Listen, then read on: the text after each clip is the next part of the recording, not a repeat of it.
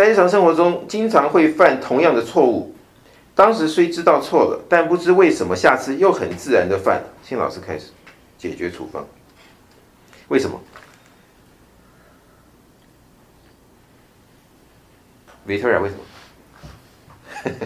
你看我，我看你，那我叫你啊，负能量太强，这是这是一个可能性。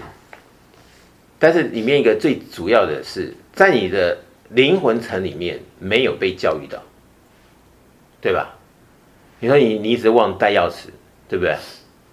哎呀，这是我从小到大的习惯，因为你没有教育你，所以你觉得那是理所当然，所以你下意识就觉得没带钥匙算什么？我就是没带钥匙，从小就有的，没关系的。但是如果你今天出来一件错误的事情，你在。这个内心深处里面，跟你自己的内心沟通，告诉你自己这件事情实在是不可以再犯，我们要很警醒啊，然后看你的功夫再跟自己的沟通，可能一次以后，你这事情就真不再犯，跟你就绝缘了，或者是原来这个浓厚的信息场，一次你跟他沟通还来不及切干干净净，但是几次以后应该就切得干干净净。那这就，这就是我们保护自己另外一个可能性，对吧？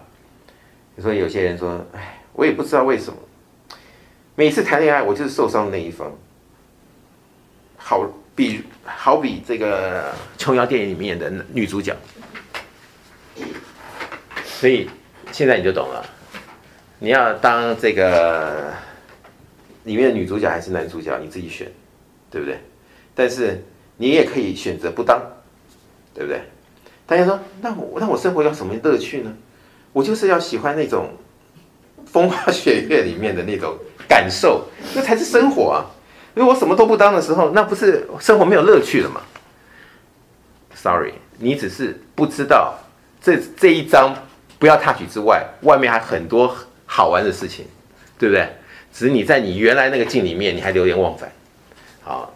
说要丢嘛，又没有丢干净，啊，说不丢嘛，又觉得很讨厌自己。为什么老是就是你自己，老是就是丢不下，对不对？所以修行为什么要把你自己的智慧提升？是其中另外一个好处是，你该放的东西就放掉，就不要了，对不对？如果这东西明明就是对你不利嘛，每一次都是这样搞你，对不对？那你还没乐此不疲的，那下次又来了。当时又气了，哎呀，我这次我绝情，绝对不要。结果睡一个觉起来，哎呀，我还是再给自己一次机会吧。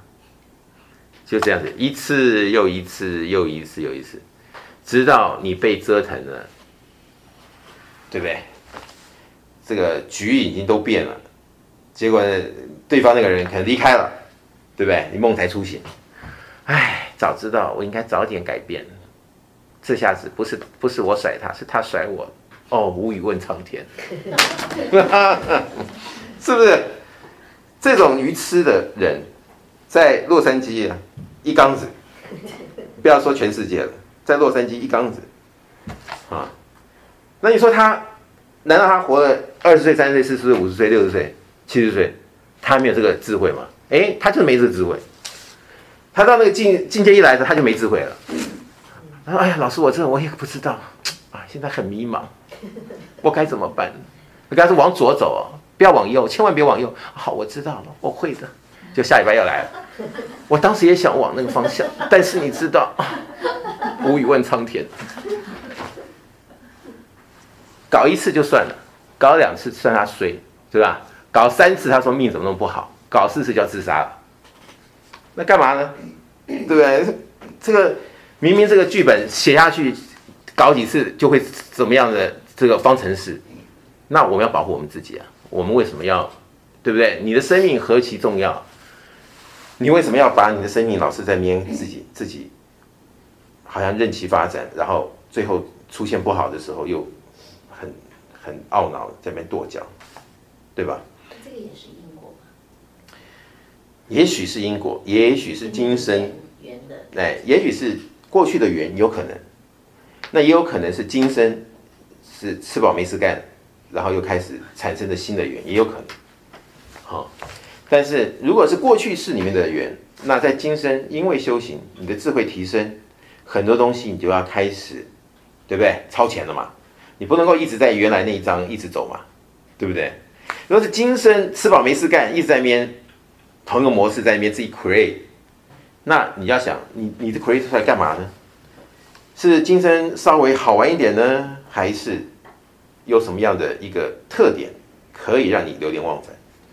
如果你的智慧提升，你就会知道这个东西对你只有损失，没有进进步，对不对？哪怕当时有那么样的感觉，那也是当时那一点感觉，有什么意义？没什么意义，对不对？